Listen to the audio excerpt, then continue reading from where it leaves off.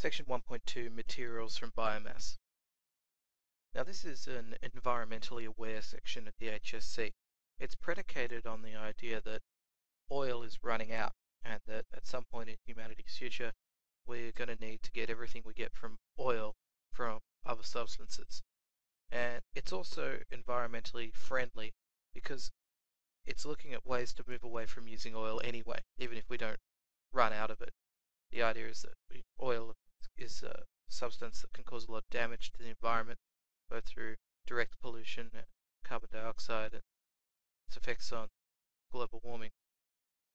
So the, the hunt is on for another source of all the things that we get from oil.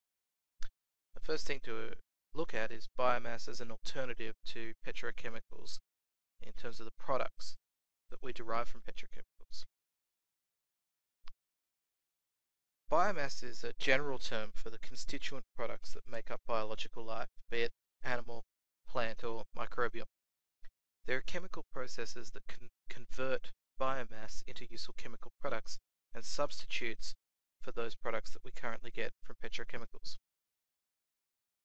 Products from petrochemicals are currently used incredibly widely, from fuels to building materials, to clothing and electronics and much more. The economy couldn't really function as it does now without these products. Therefore, it's important to develop an alternative source for the products currently derived from petrochemicals. Biomass is one promising example of such an alternative source. For the HSC, you need to know about a particular biopolymer. You need to know how it's produced, what it's used for, all these sorts of things. Now you can choose any one biopolymer from a few different ones that you can find materials for. It's a pretty arbitrary choice. I think the easiest one to study is a biopolymer called PHB. PHB, its uh, full name is polyhydroxybutyrate.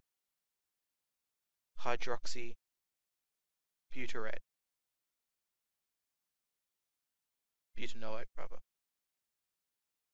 All the biopolymers are quite complex, so they've all got quite complex names. Now, PHB is a naturally occurring biopolymer. It's used by the bacterium Alcaligenes eutrophus to store energy when that bacteria thinks it might starve. And that bacteria is placed in a situation where uh, it seems uh, from the feedback that the bacteria is getting that it might starve, it then produces PHB in response in order to store energy. In much the same way that the human body will store fat for future famines, uh, this particular bacterium, which is called Alcaligenes eutrophus,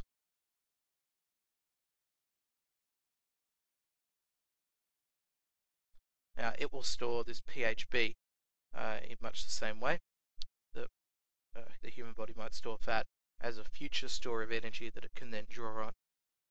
So by growing and feeding a big colony of these bacteria and then suddenly withdrawing all the glucose that we were feeding it before, we can induce the production of PHB. Now, an even better way of doing it is to transfer the genes out of uh, Alcaligenes eutrophus into another bacterium which is known as E. coli,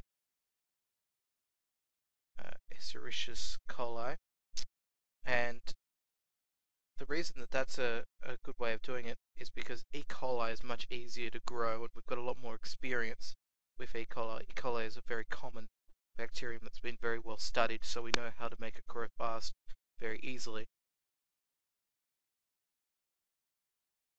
But either way, you produce a lot of the bacterium in question and then suddenly withdraw its glucose and it will produce this PHB, which can then be harvested.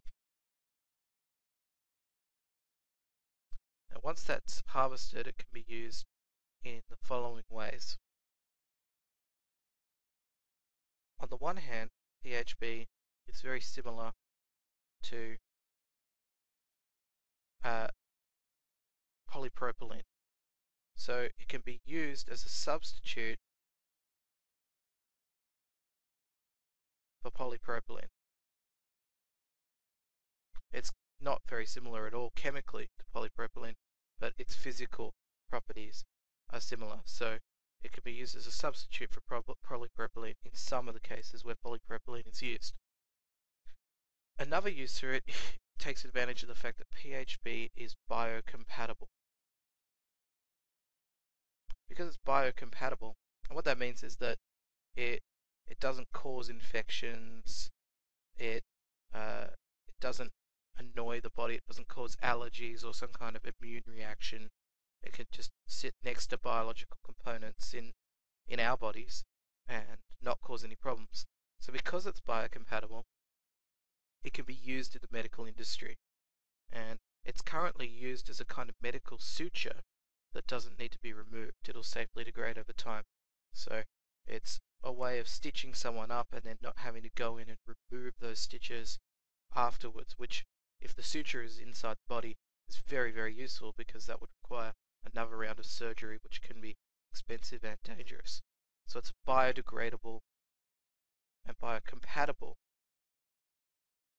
suture, which is very useful use that it's actually currently being manufactured and used for. Now, the pros in terms of using it, which you may well need to talk about, you may need to talk about what's good about using this and what's bad about using it. The pros are that it's renewable, it's non-toxic,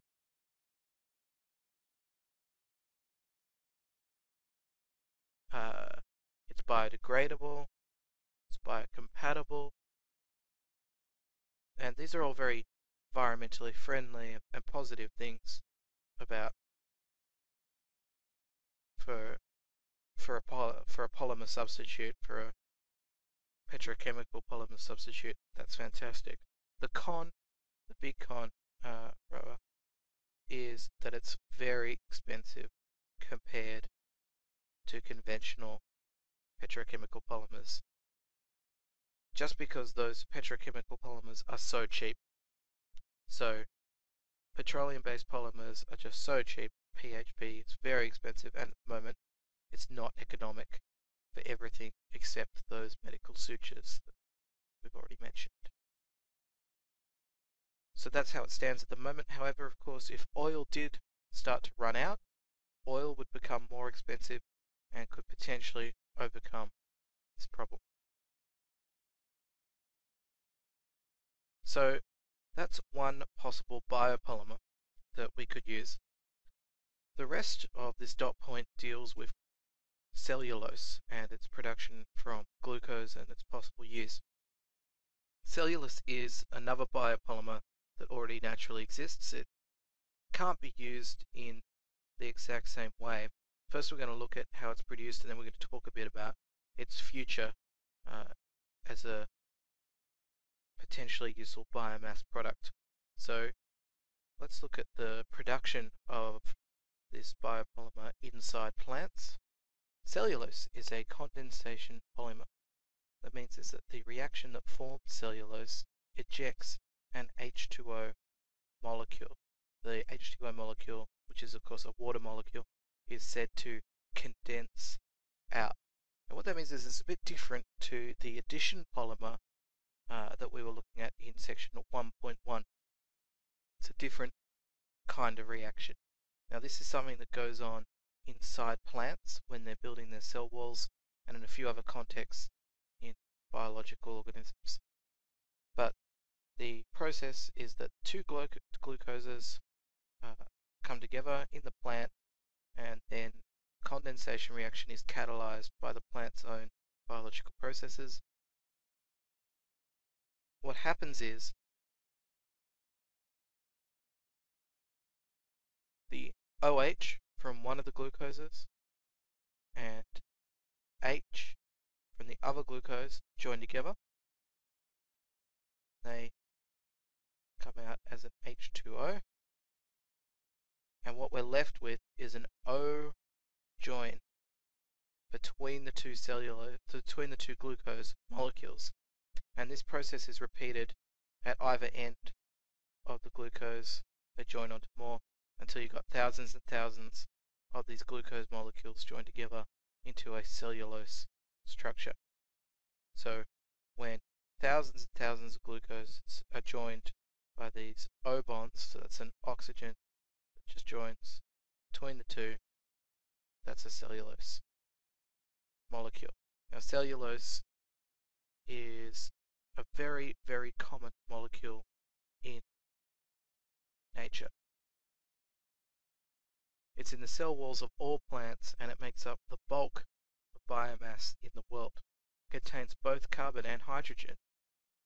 So it's a suitable precursor for the production of petrochemicals. The problem is that cellulose is not very biologically available. It's very difficult to extract the carbon and the hydrogen out of the cellulose. There's a lot of oxygen in there, there's a lot of bonds to break to get to the carbon and hydrogen. So it's still very uneconomic to convert cellulose into hydrocarbons, these kinds of useful products that, that we would want. At the moment it's just too easy to get oil out of the ground and use that for our petrochemical needs and not even worry about cellulose, which is seen as a waste product. Much agricultural and forestry waste is rich in cellulose, and that presents an opportunity because it would be an environmentally and economically viable source in the future if we began to run out of oil. So that's the pro, is that there's a lot of it around and that it's renewable, it's already a waste product. However, if demand for petrochemical substitutes outstripped this potential supply from farming and agriculture and forestry waste, cellulose could be produced agriculturally, so we could grow crops specifically to produce cellulose.